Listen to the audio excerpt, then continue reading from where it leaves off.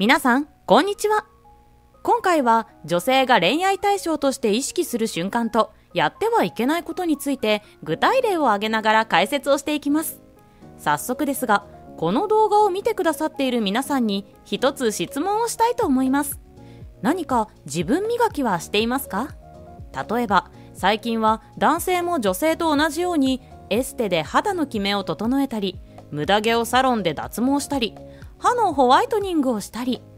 他にも恋愛セミナーやオンラインサロンに入会したり、自己啓発本やスピリチュアル本を読んでみたり、というのはよく聞きます。あなたはどうですか？このようないわゆる自分磨きは何かしていますか？ここまで聞かれると自分磨きってやっぱり大事なのかな？とか自分磨きを何もやっていないから僕はモテないのかな？と思う方も少なくないと思います。ですが、実際はむしろ逆。女性にモテることが目的なら自分磨きはしなくていいです。例えば、ジムに通って体を鍛えたり、エステで肌を整えるというような自分の見た目を変える、または維持をする自分磨き。お金も労力も時間もかかって大変ですよね。でも、それが女性にモテるためにやっているなら、それは無駄なんです。ジムに通って体を鍛えたら、健康には効果があるでしょう。エステで肌をきれいにするのも清潔感につながり、仕事に良い効果をもたらすかもしれません。なので、自分磨き自体が全て無駄だとは言いません。ただ、自分磨きをしたところで、女性の恋愛対象に入れるわけではないんです。この動画を見てくださっている男性の中には、この事実に納得がいかない方もいると思います。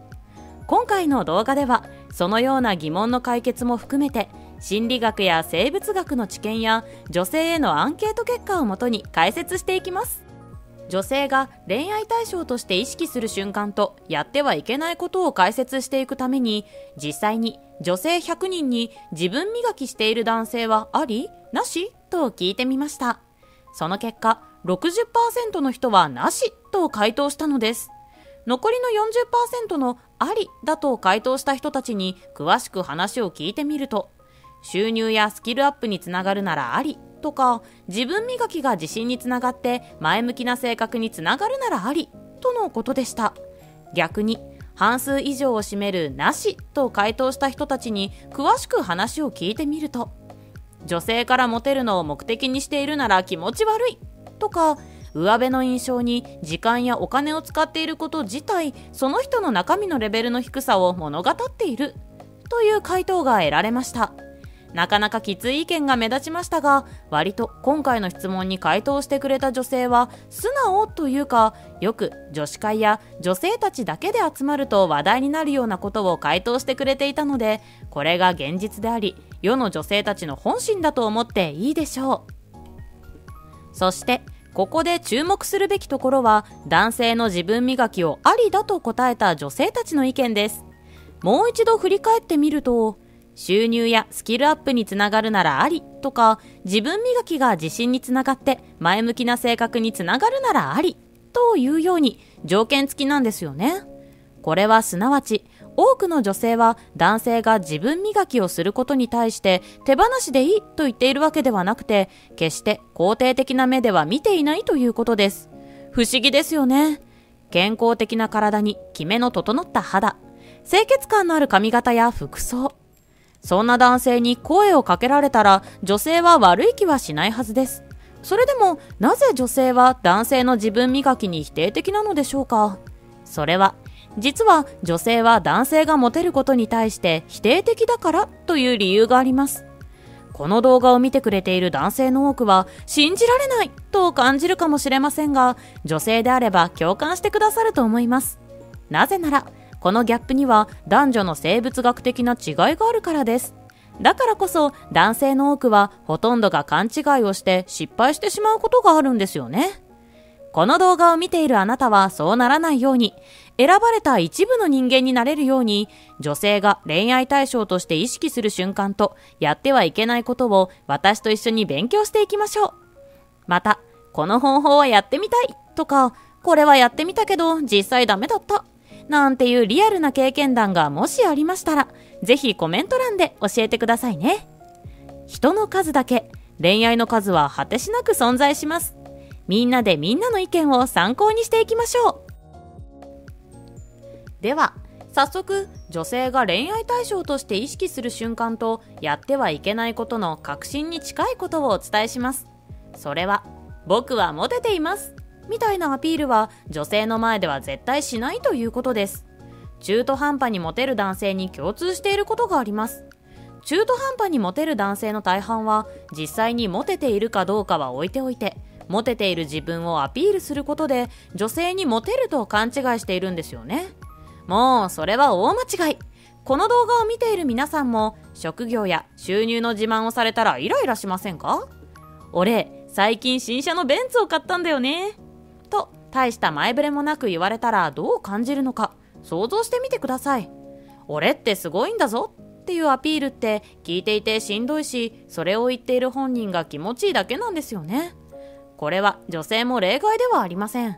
今まで女性に僕はモテていますアピールをしてしまっていたりちょっと心当たりがあるなと感じている人は今日からそれをやめてみましょう。小さなことのように思えて実は女性に恋愛対象として見てもらうための大きな一歩になりますよ。このなぜ男性のモテるアピールが女性に不評なのかという疑問は生物学の観点からも説明できます。基本的に女性という生き物は安定的な恋愛を好むように作られているんです女性は男性と違って妊娠出産授乳と先天的な機能が備わっていますよね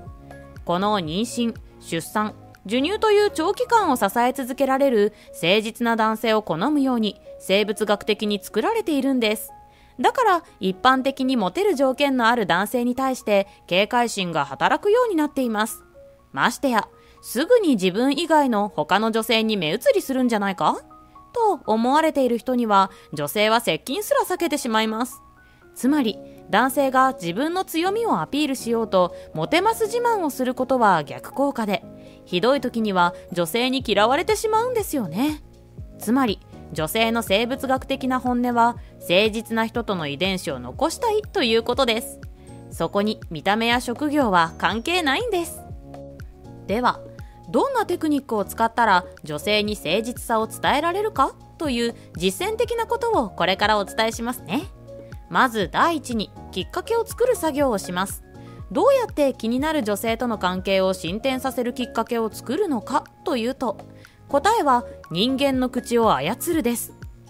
あなたと気になる女性の共通の知人を利用するんです。例えば職場の女性が気になっているのであれば同僚や上司部下を利用しますそして共通の知人にあなたが対象となる女性に好意があることを伝えてもらうんです可愛いと言っていたよとか話してみたいようだよというのを間接的に伝えてもらう。これがすごく大事なんです。対象の女性にあなたからの行為が間接的に伝わったら、女性は、あなたが本当に自分に好意があるのか？と確認の作業をします。あなたのことをよく見るようになる。そして目が合うかなとか、ご飯に誘われるかなと内心そわそわし始めるんですね。ここで注意なんですが、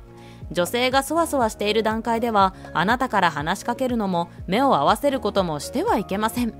1週間くらい女性をそわそわする状態にしておくと女性は本当は好意なんてなかったのかなと残念な気持ちを抱きます。これがいいんです。もうあなたのことは何も感じていなかった人から気になる人に変わっているのですから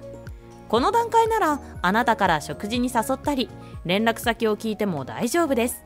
かなり成功率も上がっていますよ。むしろ女性からあなたに話しかけてくる可能性も高いので、その時は冷静に対処してみてくださいね。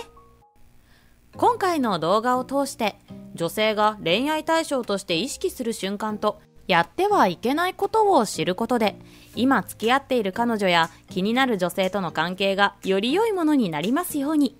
これから出会う女性との関係性をより早く進展できるようにぜひご活用くださいね。